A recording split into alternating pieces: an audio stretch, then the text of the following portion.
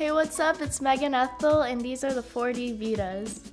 The Vidas are super comfortable, super flexy on your feet. That honeycomb flex floor really gives me that soft, nice landing that I'm looking for. When you hop on the metric with these 4Ds, you can really feel the flex when you're hitting rails or going off kickers. Overall, these bindings are the best performance that I've ever had in a pair of bindings, so go out and try a pair for yourself.